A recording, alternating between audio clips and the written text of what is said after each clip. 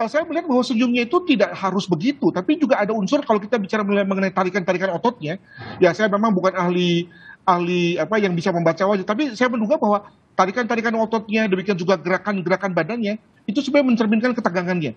Dia berpura-pura uh, rileks, berpura-pura santai, sehingga kemudian tidak menimbulkan ketegangan, uh, apa uh, tidak menimbulkan kecurigaan dari orang lain yang melihatnya dalam lift tersebut, sehingga dia apa namanya tersenyum. Tapi sebetulnya kalau lihat dari ototnya, otot wajahnya, maka sebetulnya ada ketegangan di situ. Begitu. Artinya dia menutupi ketakutannya, dia menutupi perasaan aslinya dengan tersenyum dan juga menyapa orang-orang yang ada di lift bersama dia.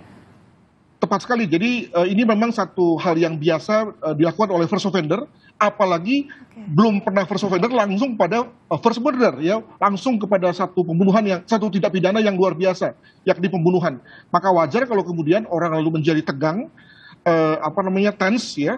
Tetapi jangan lupa bahwa uh, yang bersangkutan sebenarnya sudah sudah punya waktu, sudah punya cukup perencanaan untuk kemudian membuat tense-nya itu atau ketegangannya itu tidak terlihat antara lain dengan tadi berpura-pura bersiap-siap untuk tersenyum ketika kemudian ada orang yang melihatnya. Nah, tetapi tah, toh ada beberapa saya kira ada beberapa gejala fisik yang nggak bisa disembunyikan pada dirinya. Begitu.